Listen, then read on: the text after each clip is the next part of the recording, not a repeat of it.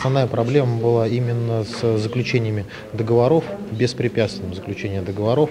И пожелание предпринимателей было э, иметь возможность заключать договора после того, как э, закончилось совещание э, с, предпринимателями, тоже по инициативе Соловьева Сан Саныча, нашли компромисс с региональным оператором. Сегодня второй день проводится на площадке торгово-промышленной палаты. Первый день был на площадке бизнес-инкубатор.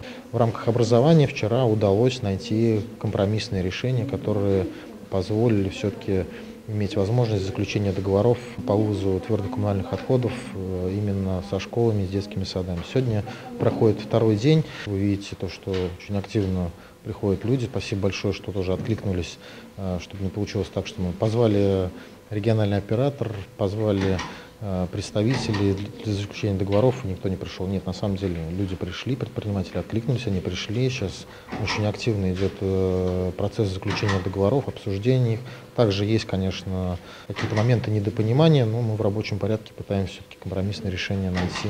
Следует отметить, что все-таки вот с той мертвой точки, которая была на протяжении предыдущего времени, все-таки какой-то сдвиг есть. И этот сдвиг именно в положительную сторону, в сторону какие-то шаги уже как бы мы видим со стороны регионального оператора все-таки пошли навстречу.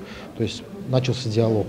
Завтра еще третий день. Также, пользуясь случаем, хочу э, попросить все-таки предпринимателей поучаствовать. Во-первых, это удобно делать это в городе Балаково, не ездить в Саратов, не пользоваться услугами МФЦ, а попробовать здесь. И опять же, в процессе диалога можно найти какие-то точки соприкосновения компромиссные, которые удовлетворили бы и потребности наших предпринимателей, ну и, соответственно, ложится в рамки тех законов, которые, на основании которых работает региональный оператор.